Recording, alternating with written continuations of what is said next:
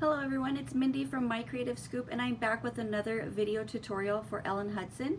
Today I'm going to be using this adorable stamp and coordinating die set called Holiday Characters and I'm also using my Distress Oxide inks to create the backgrounds. So I have this cute little snowman and I use my tumbled glass Distress Oxide ink to create the background. I added a little bit of water, just a little difficult to see but so I can have that reaction with the Distress Oxide inks. This cute little elf I have using the Mowed Lawn Distress Oxide. In this one you can see the water splatters a little bit better. I've also embossed my sentiment in white embossing powder so that way it will really pop on that distressed background. And finally I have this deer card using the Distress Oxide Vintage Photo. Again, the sentiment is, is um, embossed. So I use the emboss resist technique for this one, for all three of the cards actually. And finally, we are going to be coloring our Santa and creating the background using the Barn Door Distress Oxide ink. So let's get started. Okay, so we are going to be doing some Copic coloring in just a few, but first we need to do the distressed on our background. And before we do that, we need to emboss our sentiment. So another stamp set that I'm using that just was released is this Retro Holiday Greetings. And this is perfect for embossing because it has a nice thick font. So I'm actually going to be using the Merry Everything. So I'm going to go ahead and place my card front into my MISTI and I'm going to center it towards the bottom of the sentiment. Let's go ahead and get that stuck on our MISTI and ink up the stamp. Now you're not going to be able to see it until I emboss it, but I'm going to go ahead and ink it up twice. So that way it's nice and inked up so that way I know that my embossing powder is going to really stick to the sentiment. So you should be able, no, oh, a little bit right there. So you could see it a little bit. So I'm to go ahead and set this aside. And then let's take our embossing powder and go ahead and emboss the sentiment.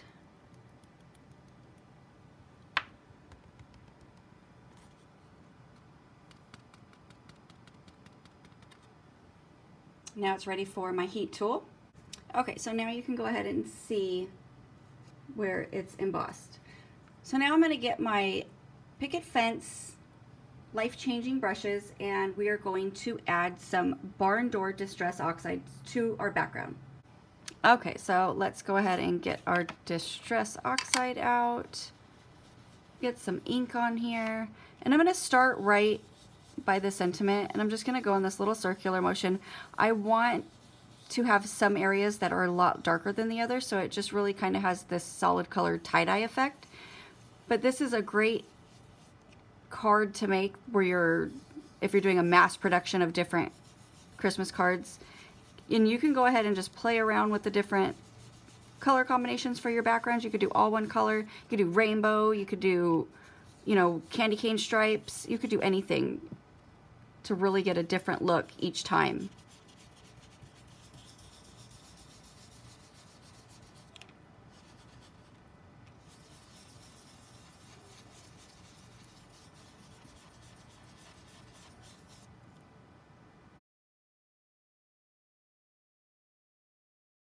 Okay, so now that we are finished doing our background, I'm just going to take a, a, paper towel and just wipe the excess off of the embossed area and that's going to make it nice and bright again.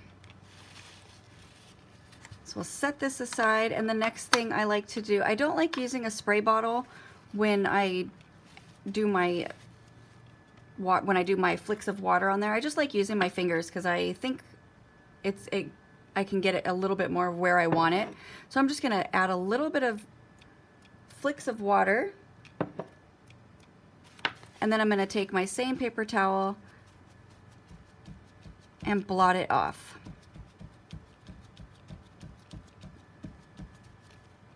Go ahead and wipe up my mess here. And now, since I want the white around my my sentiment to be really bold in the background to really make the sentiment pop, I'm just gonna touch up right behind the sentiment just to give it a little bit more deeper color, but you can still see the difference in where I've splattered the Distress Oxides. And we'll go ahead and wipe off the sentiment again, and it just makes it stand back out. So I'm gonna go ahead and get this stuff put away and we are gonna be all ready to start coloring. Okay, so we are going to color our Santa. The first thing we're gonna do is color his skin. So I'm gonna start with my R32 and R30, and I'm just going to go right underneath his eyes and give him some rosy cheeks. Then I'm gonna take my R30, and I'm just gonna come out a little bit more. Don't worry if you cover up your eyes, we will add them with a multi-liner later. Now I'm going to take my E13 and add a shadow directly underneath his hat. And coming down a little bit along the side of his face. I'm also going to add a little bit of a shadow underneath his nose and on the insides of his ears. And then I'm going to take my E11, come down a little bit more,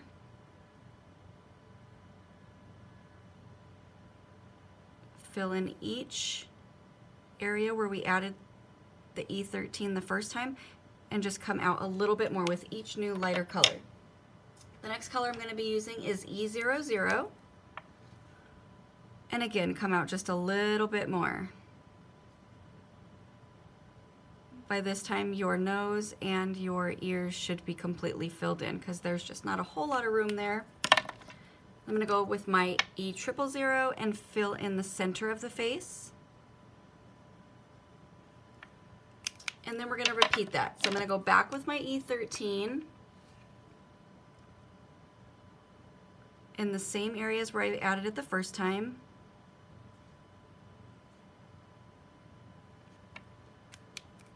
And then again with my E11.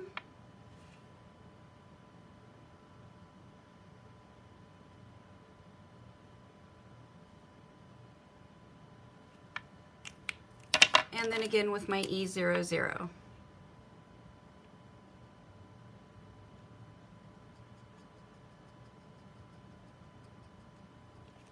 And one more time with my E triple zero.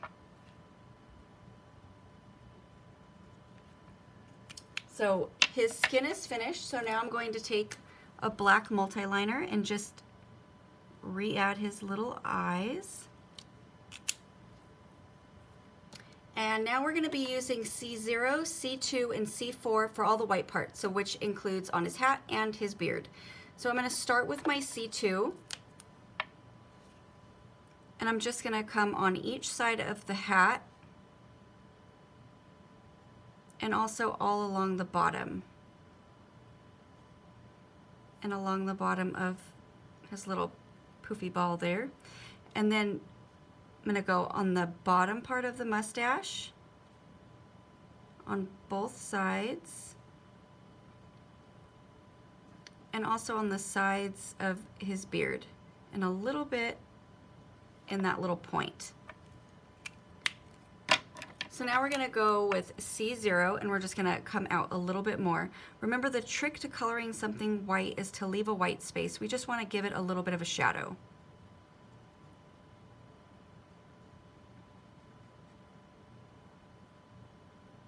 We do want to kind of outline, since I, I, and I failed to mention this, but I've stamped my image in Memento Desert Sand ink, so that way I can have that no line look.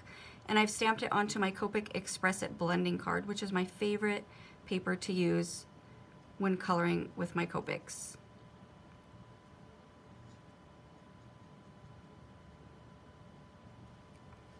All right, so we're gonna deepen that shadow just a little bit more with our C4. So I'm gonna really concentrate and really try to get the outline of the image. So if it helps, just think of it as tracing the outline right now using this color to make it really stand out and I like to say, I call it my make it pop. So a little bit over here, not, not that much. And then also underneath the mustache.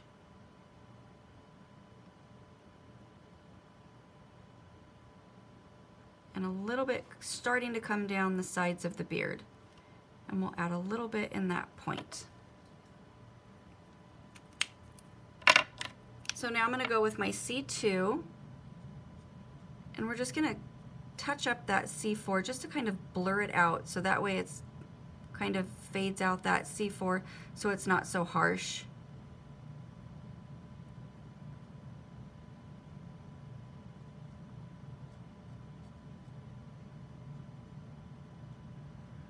And this time I'm gonna add a little bit of a shadow underneath his hat for his hair.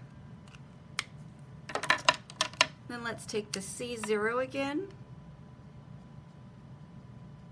And I'm gonna do a heavy flick, still leaving all this center part white. It's just really gonna bring down that shadow and really concentrate on pulling the darker colors out and creating that blend. Oh, and I forgot to do the top part of the hat.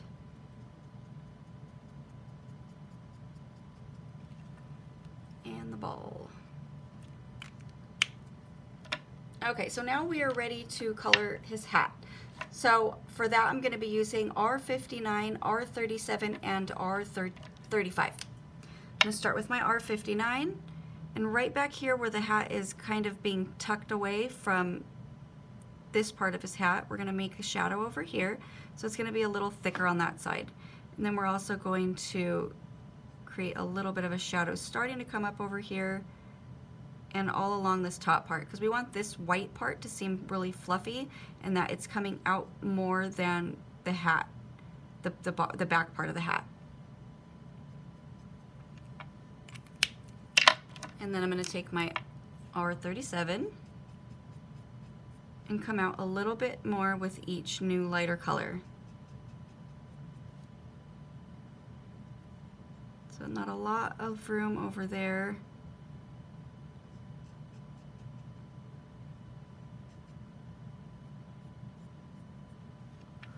and then I'm going to take my R35, get a nice blend right along the edge of that R37 before I go ahead and fill in the rest of his hat.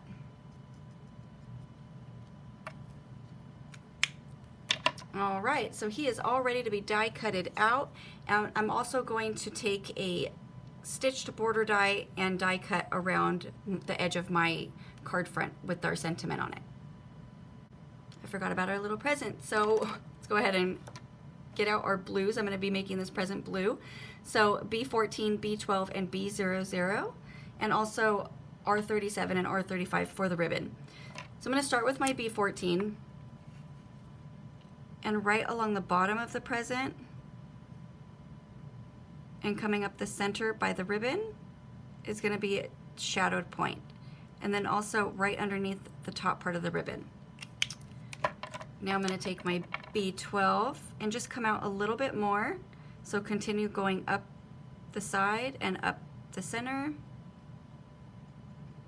but also filling in some of the center as well.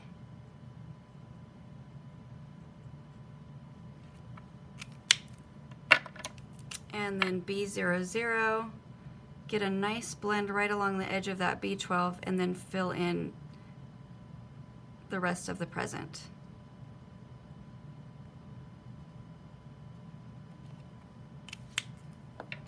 Now I'm going to go back with my B12, my middle color,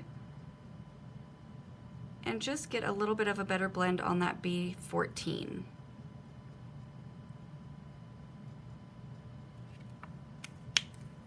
And then go back with my B00.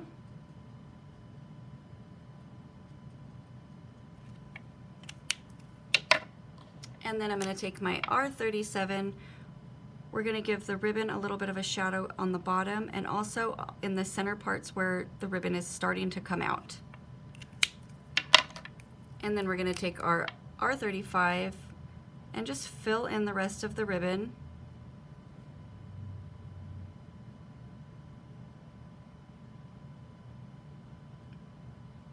there we are. Okay, so now we're ready to do all of our die cutting. Okay, so everything is die cut. I placed some foam tape on the back. I just have to, I want to add a little bit of white stitching along where I die cut the, the dots for the stitching. So I'm just going to run my white gel pen all the way across.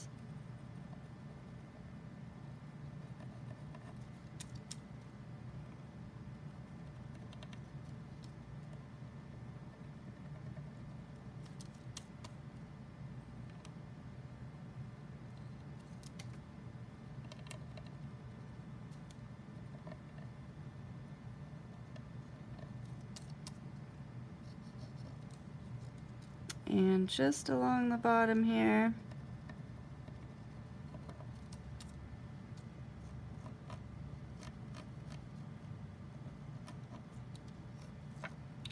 All right. So now we are ready to add some foam tape to the back of our card front and place it on our card base. Okay, so my card is now complete. I have used some foam tape to adhere it to my card base. And now I have all of these really colorful, fun Christmas cards that I can give out this year.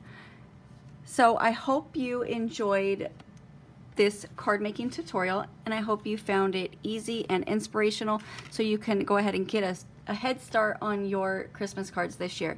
Thank you so much for watching and have a great day.